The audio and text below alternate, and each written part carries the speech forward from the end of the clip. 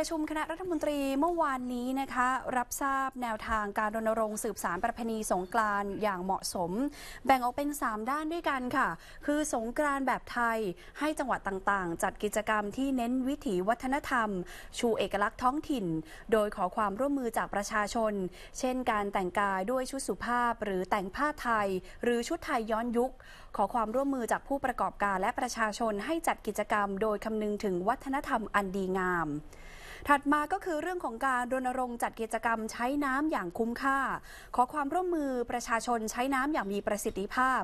งดใช้รถบรรทุกน้ำตระเวนเล่นน้ำในพื้นที่ต่างๆ พร้อมกำหนดระยะเวลาเล่นน้ำสงกรานต์รวมถึงห้ามใช้แป้งและสี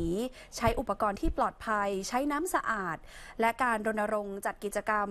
ทุกชีวาปลอดภัยกำหนดเวลาเปิดปิดกิจกรรม สถานบันเทิง งดการจำหน่ายเครื่องดื่มแอลกอฮอล์ตามเวลาที่กฎหมายกำหนด ควบคุมและรณรงค์ให้ผู้ใช้รถ ในมาตรการเมาไม่ขับค่ะ ขณะที่ในการประชุมเตรียมความพร้อม อำนวยความสะดวกการจราจร และดูแลประชาชน เพื่อจะเดินทางกลับภูมิลำเนาในช่วงเทศกาลสงกรานต์ทางตำรวจจะมีการตั้งด่านกวดขัน ในเส้นทางหลักและเส้นทางรอง รวมถึงบังคับใช้กฎหมายอย่างเข้มงวด และห้ามรถบรรทุกวิ่ง ระหว่างวันที่ 11ถึง 17 เมษายน ใน 4 เส้นทาง จังหวัดนครสวรรค์สระแก้ว นครราชสีมา และจังหวัดปราจีนบุรีค่ะ ส่วนทางด้านกรมการขนส่งทางบกได้เตรียมมาตรการดูแลไม่ให้มีการขายตั๋วเกินราคา